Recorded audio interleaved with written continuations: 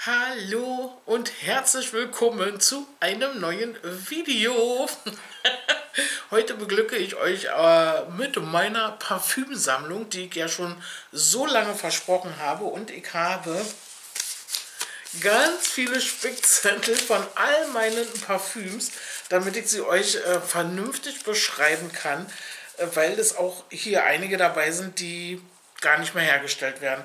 Und es irgendwie schwierig ist, ähm, das zu beschreiben, wenn man da nichts nachlesen kann.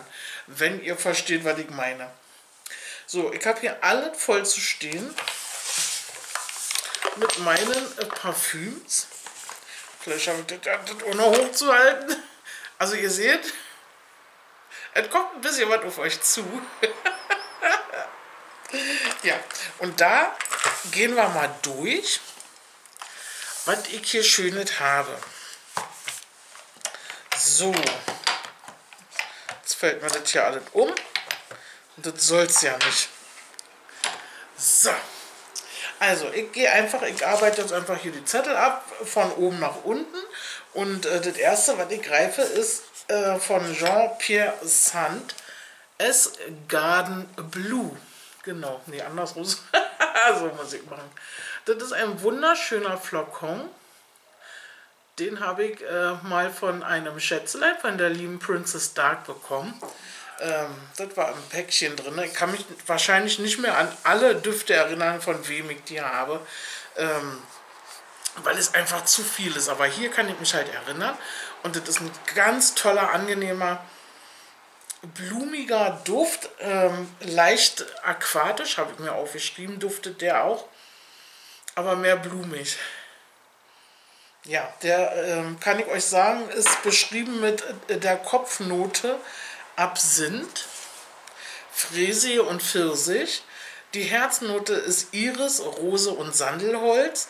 Und die Basis ist Amber, Kaschmirholz, Moschus und Vanille. Und ihr werdet sehen, da zieht sich hier durch meine ganze Sammlung durch, äh, was ich euch gerade jetzt angerissen habe und vorlese. Diese ganzen äh, Kopf-, Herz- und Basisnoten haben alle meine Parfüms hier. Deswegen gefallen sie mir wahrscheinlich auch so gut. Ja, also wie gesagt, der Flakon ist wunderschön dekorativ. Hier oben ist ein schöner Schmetterling. Und dieses Parfüm wird nicht mehr hergestellt. Genau. Ja, also ich mag's. An dieser Stelle, liebe Jasmin, nochmal danke dafür. Hat mich sehr gefreut. So, dann haben wir hier ähm, Starlight Kiss von Peter äh, Schmiedinger. Das ist dieser geile Flakon mit diesem Gebamsel hier dran. Und diesen habe ich von der lieben Sassi damals bekommen. Das war das erste Parfüm, was ich von Sassi gekriegt habe. Und dieser Duft ist einfach göttlich. Der wird auch noch produziert. Äh, diesen Duft kann ich auch als blumig beschreiben. Die Kopfnote ist ägyptischer Jasmin, Mandarine und Orangenblüte. Ja. Ich würde hier sagen, dass ich Orange schon raus rieche. Also es riecht etwas zitrisch, Tatsache. Ähm, die Herznote ist Mairose, Ilang Ilang, Zimt und Honig. Und die Basis ist Vanille, Moschus und Tonkabohne. Also ein absolut gut riechender Duft für mich, den ich schon als leicht pudrig äh, beschreiben würde. Sogar, ich würde ihn als pudrig beschreiben. Und dieser Flakon ist auch irgendwie total cool, schon ein bisschen abgegriffen, es ist auch nicht mal so viel drin.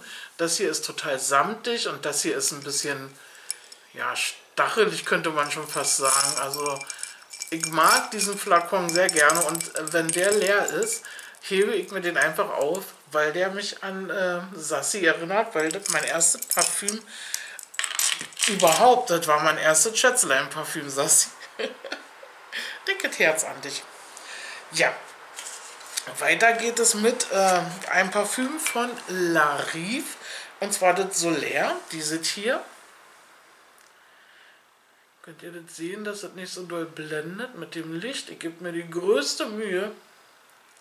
Ja, äh, dieses Parfüm habe ich von meiner lieben Andrea bekommen. Auch hier, liebe, liebe Andrea, dicke, dicke Herz. Ähm, das ist ein absoluter Sommerduft. Und wenn du hier schon aufmachst und nur an dem Riechloch schnupperst, ja, der Uwe muss schon wieder lachen, ähm, dann riecht es nach Sommersonne, Strand und Meer. Also hier ist der Duft beschrieben mit blumig. Die Kopfnote ist Hyazinthe, Kokos und äh, Orange. Ähm, also zitrisch riecht es mir in meiner Nase nicht. Aber ähm, Kokos, das rieche ich. Ähm, die Herznote ist Jasmin und Gardenie. Und die Basis ist Sandelholz und Vanille. Es zieht sich wirklich durch meine Parfümsammlung durch und das riecht so ein bisschen wie diese Duschgel von Nivea, dieses Sommerduschgel zum Beispiel. Ich liebe diesen Duft einfach und äh, mache den direkt drauf, weil ich den so sehr mag. Und äh, der Flakon sieht eigentlich auch echt wunderschön aus und macht einfach Bock auf Sommer. Absoluter Sommerduft, kann ich nur empfehlen. Riecht unfassbar gut. Also wer äh, Nivea mag, wird da wahrscheinlich auch begeistert sein von. Als nächstes ähm, habe ich hier ein Parfüm von Rituals. Und zwar ist es Travel Reef de Hanami. Habe ich das jetzt richtig in die Kamera hier halten? Ich hoffe. So sieht der Flakon aus. Und auch hier ist der Duft sehr fruchtig, frühlingshaft, auf jeden Fall ein Frühlingsduft, sagt ja schon Hanami, ne, ist ja äh, das Kirschblütenfest. Und ähm, beschrieben ist der Duft in der Kopfnote mit Litschi, Birne und Bergamotte.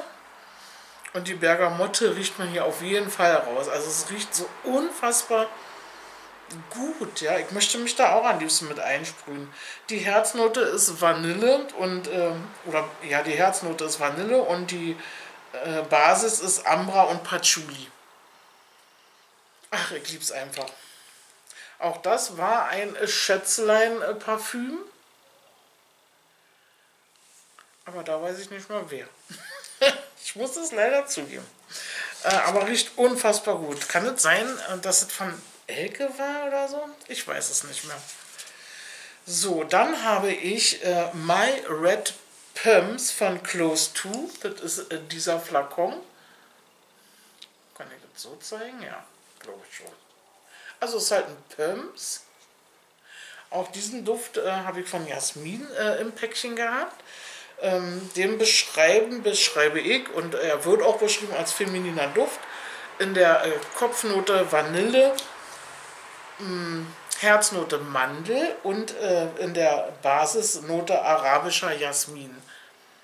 Also er ist ein etwas schwererer Duft, den würde ich jetzt nicht im Sommer tragen wollen. Für mich ist das ein äh, Winterduft, wahrscheinlich durch irgendwelche Hölzer, die da auch noch drin sind. Ja, die Vanille riecht man auf jeden Fall auch raus. Und für mich äh, nicht nur äh, eine geile Optik eigentlich, ne? sondern auch äh, für mich eher so Herbst- und äh, Winterduft. Also weil der ein bisschen schwerer ist. Gefällt mir aber auch sehr gut. Und äh, macht was her, finde ich, ne? wenn der da so steht. finde ich das sehr lustig. So, My Red Pumps haben wir abgearbeitet. Dann haben wir von Essential Garden Cherry Blossom. Ich muss es kurz suchen. Hier ist es. Ähm, so sieht der Flakon aus. Und der Duft, der ist auch so blumig, fruchtig, orientalisch, ein absoluter Frühlings-Sommerduft. Also, ich könnte mal da, wenn ich jetzt nicht gerade mir schon diese Solar aufgemacht hätte, könnte mal schon wieder einduseln hier, ne? Also das ist ähm, auch, was man bei äh, DM zum Beispiel bekommt, äh, Parfüm, also ein Eau de Parfüm für kleines Geld tatsächlich, was unfassbar gut riecht und lange auf der Haut hält. Und ähm, wenn man sich das auf die Kleidung spritzt, erst recht. Ne? Also der ist jetzt beschrieben mit ähm, orientalisch, Jasmin, Mandarine und Birne. Und die Herznote ist Kirschblüte, Pfingstrose und Gardenie. ja, so sieht die aus. Riecht sehr gut. Wenn ihr bei DM seid, Ich weiß nicht, ob es den auch bei Rossmann gibt. Einfach mal äh, dran schnuppern. Essential Garden Cherry Blossom. Ja, ein richtig toller Duft, den ich sehr, sehr gerne mag. Weiter geht es mit meinem neu erstandenen Geburtstagsgeschenk von der lieben äh, Balticos Nuts. Und zwar auch Essential Garden White Flowers. So sieht es aus. Der wird beschrieben als blumiger, orientalischer, äh, cremiger Duft. Also ich finde schon, die Verpackung sieht so toll aus. Ne? Das macht auch schon wieder so richtig Bock auf Sommer oder auf Frühling. So, die Herznote ist Kokos und Vanille. Und Leute, Kokos ist hier Programm. Ne? Ja, Kokos ist Programm. Ich habe erst gedacht, dass ich eine Ananas gerochen habe. Aber es ist die Kokos, die Grieche. Ähm, mehr wird da, glaube ich, nicht beschrieben. Hier steht halt ähm, White Flowers. Das kann sonst was sein. Ich glaube, dass ich da auch weißen Jasmin gesehen habe auf der Seite. Aber Kokos Vanille, das mag, ist damit gut beraten. Ich äh, finde den einfach mega. Da könnte ich mich ständig einduseln mit, weil der so unfassbar gut riecht. Das war eine gute Wahl, liebe äh, Verena. Äh, vielen, vielen, vielen Dank für diese tolle Überraschung. Immer wieder kann ich das nur sagen. So, dann haben wir das auch. Leute, nimmt kein Ende. Ne? Ich sage euch das gleich. So, dann habe ich, äh, das war mal ein Signature-Duft von mir, damit hat mich, glaube ich, der Uwe auch kennengelernt. Ne, der Uwe hat mich mit einem anderen Duft kennengelernt. Den habe ich mit Uwe dann irgendwann als Signature-Duft entwickelt. Weil ich hatte das für die äh, Damen-Version und Uwe hatte das für die Herren-Version. Und zwar Davidoff Cool Water. Das hier. Ich weiß, es ist nicht jedermanns Sache, aber meine. Ich mag den Duft sehr, sehr gerne, allerdings nur im Sommer. Ne? Ja, Cool Water Woman ist das, ein Eau de Toilette in dem Fall. Riecht aquatisch, frisch. Ich liebe diesen Duft einfach. Und so viel ist da jetzt auch nicht mehr drin, ne, Schatz? Ja. ja. ja, da ist nicht mehr so viel drin. Ich verstehe kein Ton hier. Da hat mir der Uwe jetzt ähm, zum Geburtstag äh, die Bodylotion geschenkt. Auf jeden Fall hier ist drin in der Kopfrose Kopfnote Seerose, meine Güte, äh, Lotus, zitrische Noten und Bergamotte. In der Herznote sind Maiglöckchen und Honig drin und in der Basis ist Moschus, Amber und Himbeere. Ja, also wer wirklich aufpasst, der bemerkt wirklich äh, einen roten Faden von meinen Parfüms, was die Düfte angeht. Äh, ich liebe es einfach, Davidoff Cool Water Woman, einfach sehr lecker.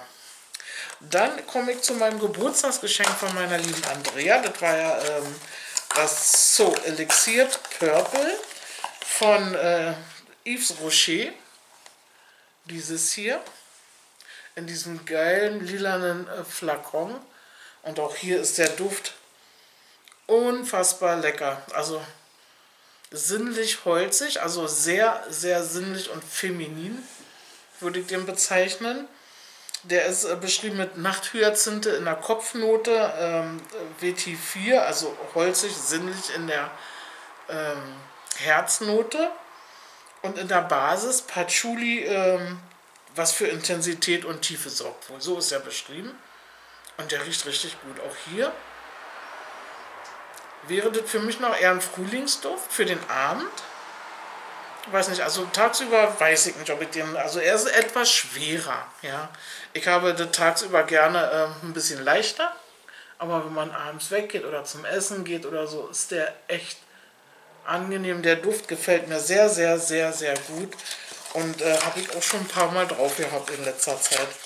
Und ähm, auch auf Arbeit kommt er sehr gut bei den Kollegen an. Die fragen mich immer alle, welches Parfüm ich drauf habe. ja, hat mir sehr gut gefallen. Und ähm, weiter geht's mit ähm, Alien von Thierry Magler. Und zwar, ähm, glaube ich, kennen das alle, ne? Dieses Alien. Das ist das Original. Habe ich auch von einem ganz lieben Schätzelein und zwar die Antje, die verrückte Maus, hat mir das geschenkt. Ja, und der Duft ist halt typisch Alien, ne? Ein sehr schwerer Duft. Also ich, ich beschreibe ihn als sehr schwer, blumig, süß, orientalisch. Und ähm, in der Herznote ist Jasmin und Sambak drin. Ich habe keine Ahnung, was Sambak ist. Klärt mich auf, wenn ihr das wisst. In der ähm, Herznote ist Ambra drin und in der äh, Basis Kaschmirholz. Und äh, es riecht einfach unfassbar schön. Oh, ich liebe diesen Duft. Alien, ne? Das ist äh, das Original. Und ich habe aber auch noch Alien ähm, als Dupe. Und zwar ähm, kann ich euch Momente zeigen. Ich muss erstmal kurz suchen, welche das ist. Eigentlich habe ich ja Nummern hier drauf. Okay, hm, das hier ist das Alien. So, von Laris. Die Nummer 119. Kann man das überhaupt sehen? Das ist der Duftzwilling zum Thierry äh, Magla Alien. Und das riecht wirklich eins zu eins. Also das bekommt man bei Amazon, auf jeden Fall. Aber man bekommt auch tolle Dupes bei Rossmann oder ähm, DM von äh, Alien. Also da müsst ihr mal wirklich die Augen aufhalten. Ähm, wer Alien mag, kann ich euch, das hält auch ewig lange auf der Haut. Ne? Von La Ries, die Nummer 119 Alien Dupe. Kann ich nur empfehlen. So, dann haben wir James Bond 007 Woman 3. Da gibt es eine ganz große Range von James Bond Parfüm und ich habe drei davon. Und der besagte ist dieser äh, wunderschöne lilane Flakon. Hier steht 007 drauf. Steht da auch drauf Woman 3. Ne, das steht nicht drauf. Keine Ahnung, man weiß es ja. Ne? Also, äh, dieser Duft ist fruchtig, süß, cremig, blumig, alles in einem. Ich muss mal kurz. Ach, er riecht einfach unfassbar gut. Ich würde mehr fruchtig äh, bezeichnen als blumig. Hier ist drin äh, in der Kopfnote Ananas und Papaya. In der Herznote ist Ilang Ilang drin und äh, Fra Fragipani. In der Basis ist Patchouli, Sandelholz, Siam und Benzoe. Ja, riecht unfassbar gut, wenn ihr auch ein etwas schweren, also für mich ist das so ein Abendparfüm, ne? Alles, was so ein bisschen süßlicher ist und ein bisschen schwerer äh, ist, also ist nicht ganz schwer, dann ist es für mich eher so ein Abendduft und äh, da schnuppert gerne mal dran an diese 007 Düfte. Also das ähm, sind jetzt keine hyperteuren Parfüms, sondern ähm, erschwingliche Parfüms noch und ähm, große Liebe. Das ist die Nummer 3 gewesen.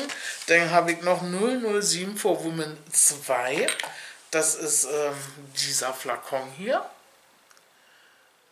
Die Flakons sehen auch alle ähnlich aus. Sie sind äh, aber verschieden groß. Wobei ja ich hier, äh, glaube ich, 50 Milliliter oder das steht leider nicht mehr drauf. Es kann sein, dass das 50 Milliliter sind und das andere 30 Milliliter. Das hier ist äh, fast alle. Das wollte der Uwe mir äh, holen zum Geburtstag, weil er gesehen hat, ist alle und ich mir das gewünscht habe ähm, und hat aus Versehen ja ein anderes geholt, was ich aber auch endgeil finde. Ne? Aber jetzt erstmal das hier, 007 Woman 2, ist ein pudrig, süß, fruchtig, blumiger Duft und das ist hier genau mein Beuteschema. Also damals hatte ich ja diese Heidi Klum Dreams und das riecht ähnlich, also unfassbar ähnlich einfach nur lecker. Also damit kann ich mich ständig einduseln. Und zwar Kopfnote ist Himbeere, pinke Fräsie, rosa Pfeffer und Champagner. Die ähm, Herznote ist Black, Baccarat, Rose, Brombeere, Gardenie, rosa Oleander und die Basisnote ist Vanille, Moschus, Zedernholz. Ich liebe diesen pudrigen Duft. Ihr wisst es, die Stierdamen, ne? lieben pudrige Düfte. Hier könnte ich, könnte ich mir die Nase schieben, ja, und äh, dauerhaft einatmen. So lecker riecht es. Also auch hier werdet eine ganz dicke Empfehlung, wer pudrige Düfte mag, soll mal an ähm, James Bond 007 Woman 2 schnuppern. So, jetzt kommen wir zu, ähm, zu dem anderen äh, James Bond 007.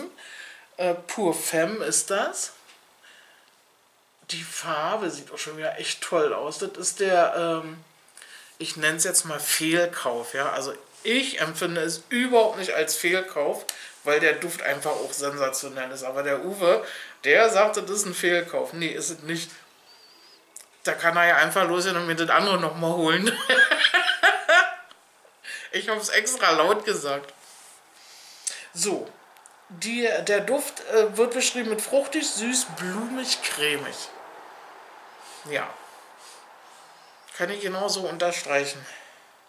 Kopfnote ist Mandarine, Birne, Fräsie. Äh, Herznote ist Zedernholz und nachtblühender Jasmin. Und die Basisnote ist Vanille, Kaschmeran und Tonkabohne sowie Zimt. Also Zimt rieche ich gar nicht raus. Vielleicht ganz leicht. Vanille, ja, deswegen wahrscheinlich diese pudrige hoch. Es riecht einfach fantastisch. Auch hier gerne mal, das ist so ein Mittelding zwischen ähm, schwer und leicht. Also das ist für mich schon noch ein Tagesparfüm. Riecht unfassbar gut. Der Flakon sieht toll aus. Macht wirklich was her, wenn es da so im Regal steht und darauf wartet, benutzt zu werden. Und ich liebe es einfach. Es ist sehr, sehr, sehr, sehr, sehr schön. So, dann kommen wir zu meinem eigentlichen Signature-Duft. Der ist auch schon fast alle, weia.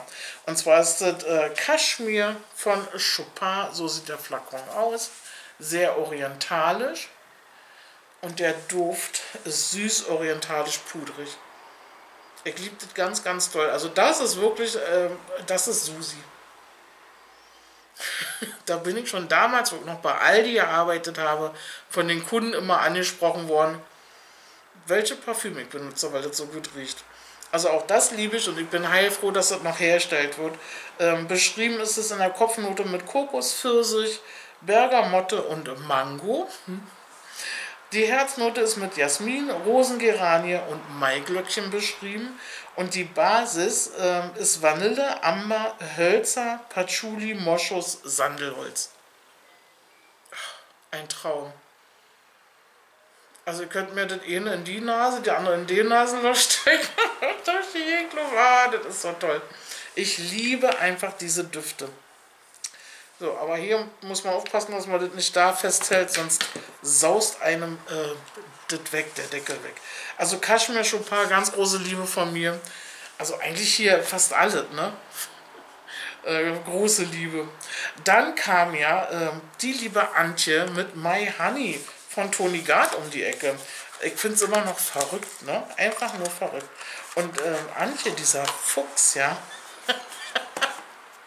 hat mein aufgebraucht Video gesehen und da hatte ich, ähm, ich glaube, ein Duschgel von Toni Gard drin und war davon maximal begeistert. Und da hat sie sich gedacht, kauft sie einfach mal das Parfüm von Toni Gard. Ja, ich glaube, so kann man das ganz gut sehen. Ach, und das riecht so toll. Das ist ein richtiger Frühlings-Sommerduft. Hm, den muss ich unbedingt morgen drauf machen. Da, der wird beschrieben mit blumig, süß, fruchtig und frisch. Kann ich absolut äh, genau so unterstreichen. Die äh, Kopfnote ist Honig und Limette. Also das Zitrische rieche ich persönlich hier nicht raus, meine Nase nicht. Ähm, die Herznote ist Lotus, Jasmin und Magnolie, das rieche ich. Magnolie auf jeden Fall. Lotus würde ich auch sagen, denn in der Basisnote die Himbeere rieche ich raus, Moschus natürlich und helle Hölzer. Das ist ein Traum, ehrlich. Antje, Mann, du verrückte Nudel, ehrlich. Freue ich mich sehr, immer noch drüber. Geiler Duft. Danke. mir bleibt ja immer nur übrig, Danke zu sagen für diese tollen Sachen, die ihr mir hier ähm, ja, zukommen lasst. So, dann auch eine ganz große Liebe von mir ist Katy Perry Royal Revolution. Das ist, ich nenne das immer Handgranate. Die hat hier im Flakon ein Krönchen. Ja, mit, was steht hier drauf? Was steht dann drauf? Ein K und ein P für Katy Perry natürlich. Ich glaube, das könnt ihr jetzt gerade nicht sehen. Ein Krönchen. Ja. Und ähm, das habe ich übrigens auch von der lieben Balticos Nuts, weil sie das tatsächlich ähm, sich anfixen lassen hat von mir, weil ich diesen Duft so irre finde. Äh, und ihr taugt ja überhaupt nicht, ne? Ja, so ist das manchmal. ich liebe den absolut. Der ist total frisch, fruchtig, süß, aber ich empfinde den auch als frisch. Äh, die äh, Kopfnote ist pinke Fräse und Granatapfel. Die Herznote ist Orangenblüte, Jasmin und Sandelholz. Und die äh, Basisnote ist Vanille und äh, Schlehdorn. Tja, was rieche ich daraus? Orangenblüte etwas, Jasmin auch. Vielleicht ein bisschen Fräsie. Hm. Also es ist ein schöner, blumiger Duft auf jeden Fall und ich mag den. Ich liebe den einfach. Ja, das schreit auch einfach nach Susi. Ja, Susi, Susi, Susi. Katy Perry. So, dann ähm, habe ich jetzt noch in meiner Sammlung die 019 von Laris. Und zwar ist das ein Dupe zu Narciso Rodriguez, Narciso Vorhör. Und hier habe ich jetzt nichts, äh, der Tag vergessen. Also ich merke gerade, dass ich ein paar Sachen vergessen habe zu recherchieren. Der ist sehr blumig, würde ich den bezeichnen. Auch frisch. Hat so ein bisschen was ähm, wie, wie die DM äh, äh, Kaschmir-Maske-Geschichte. Wahrscheinlich wird hier Kaschmir mit drin sein. Also, ich kann den nicht beschreiben, wenn ich mir das nicht aufschreibe, wie, wie die Düfte sind. Aber sehr, sehr gut. Also auch hier vielleicht mal den äh, Rüssel an Narciso Rodriguez. Rodriguez, Narciso Vorhör. Mal ranhalten, schnuffeln, ob ihr das auch mögt. Ähm, vielleicht. So, dann habe ich ja von der lieben Sassi, äh, von Jean-Paul Gaultier, das Skandal bekommen. Und auch hier habe ich gar nicht mir aufgeschrieben, wie, wie die Duftnote ist. Auf jeden Fall riecht es einfach nur geil. Ist auch ein etwas schwererer, süßer Duft. Ich vermute hier auf jeden Fall auch Moschus drin. Ähm, Hölzer natürlich, also würde schon fast irgendwie ähm, Zedernholz sagen. Und ansonsten kann ich euch ja leider nichts rausschnuppern. Aber hier ist es ja ganz einfach, ähm, in irgendeine Parfümerie zu gehen und mal da dran zu schnuppern und zu gucken, was ist da drin. Ein richtig endgeiler Duft, kann ich dazu nur sagen. Sassi, Dankeschön für diese super Überraschung immer wieder. Also ich bin da immer noch total geflasht. Naja, und ähm, last but not least habe ich halt diese ganzen ähm, Spirit-Düfte von DM. Da gibt es unfassbar viele Duftrichtungen. Also da bin ich mir sicher, wird jeder fündig auf jeden Fall. Ähm, das Neueste ist ja, was ich zum Geburtstag bekommen habe ähm, von Andrea. Äh, Spirit of Joy Full Blossoms. Das ist auch dieses, ähm, das riecht nach Kirschblüte auf jeden Fall. Es riecht sehr gut auf meiner Haut, es riecht sehr lange auf meiner Haut, es ist sehr frisch und auf jeden Fall blumig. Ein sehr blumiger Duft. Wer blumige Düfte mag, einfach mal bei DM vorbeischießen oder bei Rossmann, keine Ahnung. Und mal daran riechen, wie gesagt, Spirit of Joyful Blossom. Sehr gerne benutzt und natürlich äh, das, was ich auch richtig, richtig liebe aus dieser Serie, ist Spirit of Kashmir Musk. Das ist ja mein allerliebster Duft aus dieser Serie. Also den kann ich mir überhaupt nicht mehr wegdenken. Der kommt der Heidi Klum Dream Duft auch sehr nah. Ich, auch hier sehr pudrig, sehr holzig, orientalisch, genauso wirkt ihn beschreiben. Ich liebe ihn einfach. Da schwebe ich im siebten Himmel, ganz ehrlich. Dann habe ich hier ausprobiert äh, von Spirit ähm, Spirit of Wild Rose.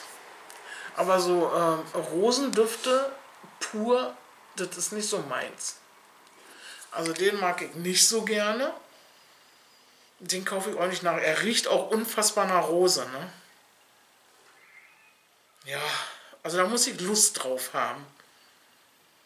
Den habe ich auch schon eine ganze Weile. Ist nicht mein liebster Duft, aber riecht auch sehr gut. Und wer äh, überhaupt so blumige Düfte mag oder so, einfach mal dran riechen. Vielleicht ist das ja was. Und hier ähm, Spirit of was? Velvet Bouquet. Ah, das ist auch so. Ach, Leute. das ist auch so ein äh, süßlicher, blumiger Duft. Äh, etwas schwerer als die anderen. Wäre für mich eher was für den Abend. Oder ein ähm, Herbst-Winter-Duft. Holzig, blumig, fruchtig. Ich kriege hier irgendwas Fruchtiges draus. Da müsste ich nochmal gucken, was da genau drin ist. Oder ihr guckt einfach selber. Also wie gesagt, Spirit of Velvet Bouquet. Ein unfassbar toll, gut riechender, femininer Duft. Auch hier ganz große Liebe ähm, von mir. Und das war Das waren meine Parfüms. Ich habe hier noch so ein kleines Teil. Aber da steht nicht drauf, was das ist. Das ist ja für mich sowieso so ein Sammelflakon. Ne? Diese Miniaturen. Ähm, ich rieche mal dran. Das riecht. Das riecht wie Parfümerie. ich kann es überhaupt nicht beschreiben. Das ist auch nicht meine Duftrichtung. So wie äh, irgendwie Chanel oder irgendwas, keine Ahnung, so in der Richtung riecht das. Ich, vielleicht kennt ihr dieses Flakon-Dingens mit diesem äh, Bändchen hier dran und könnt mir sagen, welche ähm, Sorte oder welche Duftrichtung das hier ist. Weil ich habe da keine Ahnung. Mich würde mal interessieren, welche Parfüm das ist. Ja, und wir sind jetzt durch. Das war meine Parfümsammlung. Ich finde das unfassbar viel. Also ich kann ganz viel immer ausprobieren, auf was ich halt Lust habe. Finde ich persönlich auch richtig toll, wenn man ganz viel Auswahl hat. Ähm, weil man hat ja nicht jeden Tag auf dasselbe Lust. Ne? Und ähm, ich habe zwar immer irgendwie so die gleiche Note mit drin, aber trotzdem riechen alle irgendwie anders. Alle toll, die meisten zumindest. Und ähm, ich liebe sie einfach. Ganz, ganz große Liebe. Schreibt mir gerne in die Kommentare, ähm, was ihr davon toll findet, ob ihr auch davon irgendwas besitzt und äh, natürlich, was euer Signature-Duft ist. Vielleicht kann ich da ja für mich noch was entdecken. Da würde ich mich drüber freuen, wenn ihr das in die Kommentare schreibt. Ja, und da wir ja jetzt hier durch sind mit der Parfümsammlung, bleibt mir eigentlich nur noch eins zu sagen äh, und mich aus dem Video zu verabschieden. Und es ist komisch, das alleine zu sagen, muss ich mal ganz ehrlich sagen, ich bin einfach anders gewohnt. Aber vielleicht kommt ja die Stimme aus dem Off. Wenn ich wieder sage, seid frech, wild und wunderbar. Bis dann, Mann. Mach's gut. Tschüss, ihr Lieben. Ich hoffe, ihr habt ein bisschen Spaß gehabt. Tschüss.